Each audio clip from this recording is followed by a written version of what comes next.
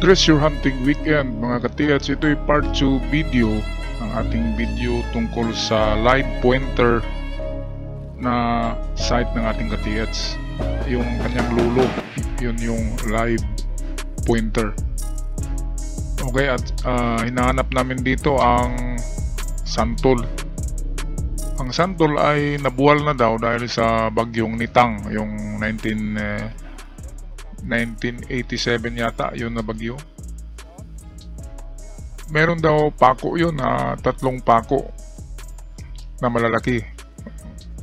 Kaya pwedeng yun talagang central marker ng ng nagbound dito. Ayon sa kwento ay yung yung kumukuha ng tuba yung mananggiti tinatawag yung nagtutuba ay habang nasa tuktok siya ng ng niyog habang nasa itaas ay hindi siya napansin ng mga hapon. Ay may biglang dumating na mga hapon na may dalang uh, kahoy na box. Maliit lang daw. At ibinaon dito sa lugar na ito. Kaya live pointer with history ang kaso na ito. Kaya yun ang hinahanap namin meron namang ito na buwal na santol. Kung ito man yun ayan o ay merong distansyang 7 meters sa dulo nito. Uh, nakaharap sa east.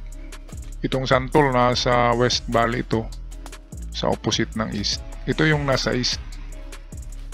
Kaya natunto natin to kasi una naming una naming nakita itong square ayan o square remarking sa niyog remarking yan sa tingin ko mga limang taon pa yan. At yan ay nasa east kaya pinuntahan ko yung west kanina. Yung naghawak ako ng compass ay natunto natin ang santol. Nasa layong 9 or 10 meters. Yun at uh, yun ay nakaano dito naka-align kaya pwede yung santol na yun, yun, yun yung marker ng ibinao na item. At itong square naman, yan, yung square hole dyan, yan ay treasure under na sign, malapit lang dyan. At sa 50, uh, nasa 40 yata, 40 meters yun, yung nag-triangle doon na puno. Ang isa doon ay meron na namang square square hole na kasing taas. Tatlong dangkal ang taas nito ang marka galing sa lupa. Uh, apat na dangkal pala. So pareho sila na, na height noong isa doon na aming start na i-test dig. Ito yan no. Tinagilid yung square parang diamond siya. At malalim siya. Ito yung ito yung uh, telescopic sign na akala ko ay hindi yan true and true kaya kasi walang butas. Yun pala ay ano pala yan tagusan sa kabila na discovery namin. Noong pagkatapos na namin magtisdig doon sa yung yung inumpisa naming hukayin ngayon. So ito akala ko malalim lang ang pagka ano nito at nakaharap yan doon no So nasa 40 meters. Counter science yan ng isa pang square. Kaya yung tatlong pako sa puno ng santol na sabi ng matanda ay pwedeng merong tatlong box na ibinaon dito. Itong niyog dito ay pwedeng meron tong isa. Ito naman, itong dinetect namin ngayon ay pwede rin meron tong isa. At yung isa ay hindi pa natin na na-detect kung saan man yun, yung pangatlo. Okay, kaya maganda ang lugar na ito. Problema nga lang ay malayo, malayo sa amin so hindi siya pwedeng palaging bisitahin. Ayan, so ito yung harapan, harapan itong square. Nag-detect diyan, 1 meter galing diyan ay nag-detect. At meron ding detection sa 3 meters galing sa kanya. Yan, kaya i-detect ko yan ng ano, ng ating uh, ng ating dowsing and then pagkatapos detect natin ng metal detector kung meron ba talaga. So kahit na ang detection ay metal or iron ay atin pa rin yan huhukayin kasi merong sign. Importante ang sign. Ang detection ay para sa akin ay uh, 40% lang yan. Ang 60% ay ang marker.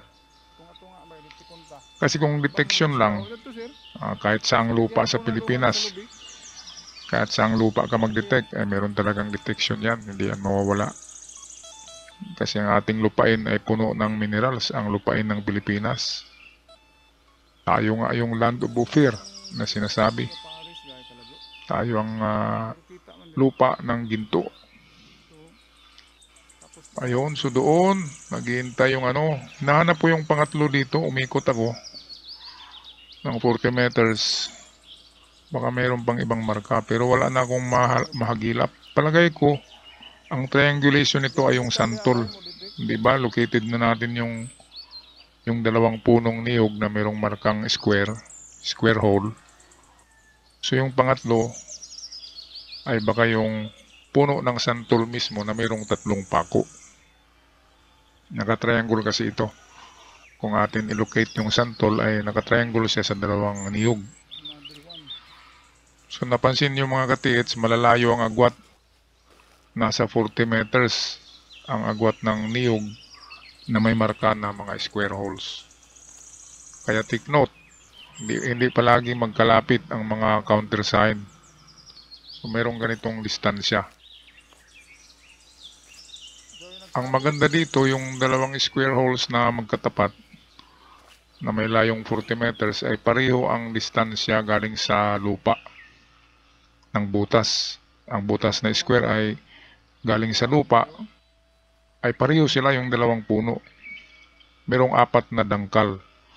So ang apat na dangkal can be translated to 4 meters.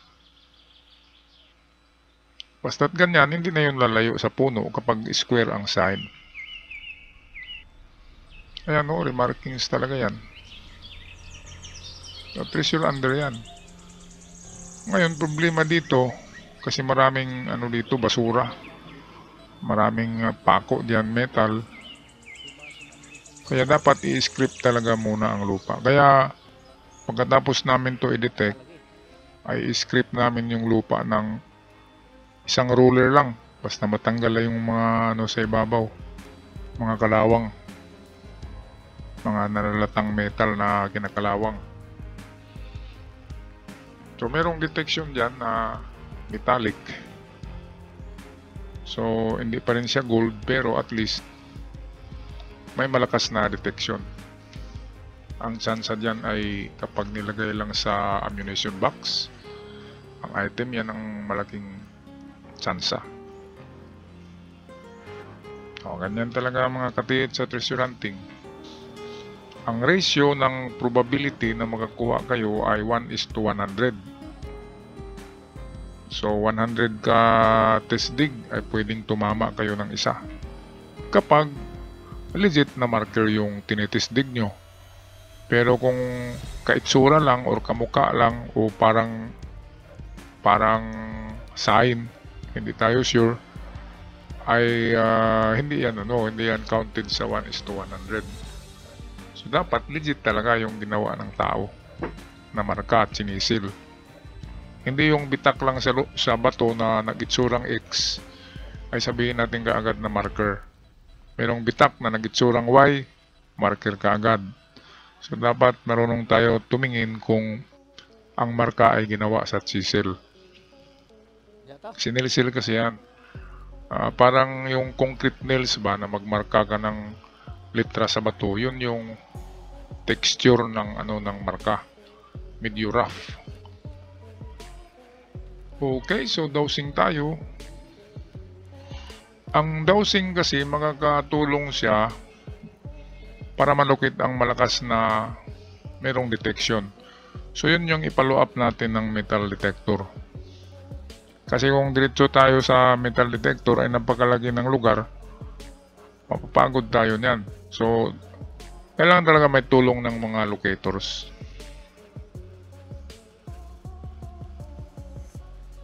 Ayan, so dyan na area ay merong detection. Na-detect din dyan ni pendulum at ni invisible. So meron nga dyan. Kaya lang hindi ginto.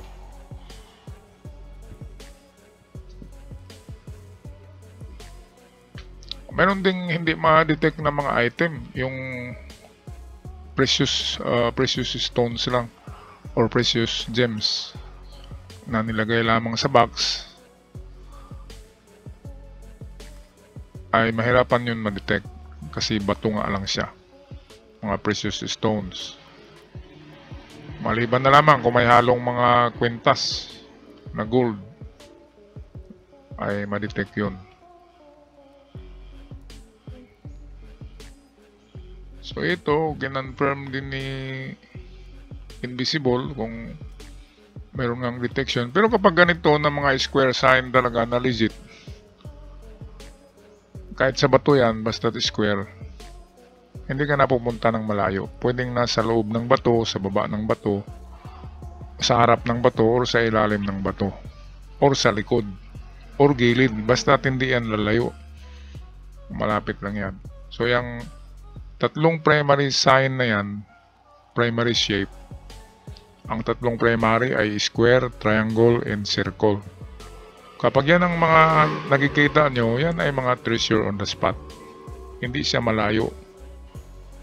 Nasa isang dipa lang ang distansya or mismo under sa bato or sa loob. Kaya treasure on the spot ang meaning ng mga yan. Kasi hindi siya sigurado na nasa loob ng bato. Hindi rin sure na sa front. Hindi rin sure na gilid, likod. Basta sa mga nakakuha niyan, Ah, diyan lang talaga yan. Malapit lang kaya treasure on the spot. Okay, so positive sa pendulum at dowsing. At uh, atin na ito ano, i-test dig. Test dig natin ng 1 meter lang tapos detect muli. At kapag malakas ang detection kaysa lupa sa unahan, ay patuloy tayo pero kapag pareho lang ang detection sa ating tinesdig at sa detection sa unahan so pwedeng wala. So ganyan lang mga katihats para hindi mapapagod ang ating tagahukay. Kapag ang detection ay even pareho lang ay wag na tayo magpatuloy. Uh, kahit masama sa loob. Kasi hindi natin alam na baka nakuha na yan, 'di ba? Uh, kasi na ano na siya eh, nasurvey na ng mga hapon eh. Tapos meron na silang remarkings. Kaya pwedeng binalikan nila yan kinabukasan kaagad. So tayo, akala natin na meron pa. Okay nung okay tayo, wala na. So yan yung mga reason bakit hindi tayo makakuha kasi naunahan na tayo. Okay mga katiyats, hanggang dito na lamang kami. Ako'y magpaalam na hanggang sa muling treasure hunting weekend natin. Paalam sa lahat at ingat kayo.